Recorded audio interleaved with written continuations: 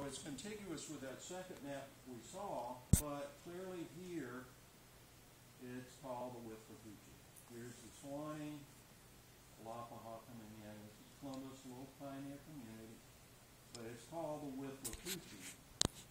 So it's kind of hard to tell is, was it the Withlacoochee in Florida, but the Swanee in Georgia, or what was it? The problem is if you're doing any research and you're reading accounts of something that happened on the Swanee River in 1825, which river are they talking about?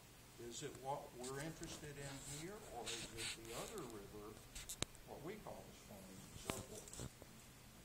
By the 1855 Colton map, which is a fairly famous map of Georgia, it is all parts are labeled as we know them now. Okapilco, Little River.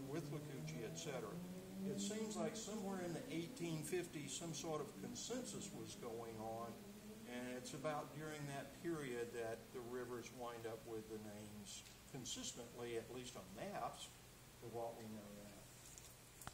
Okay? For those of you who want to go into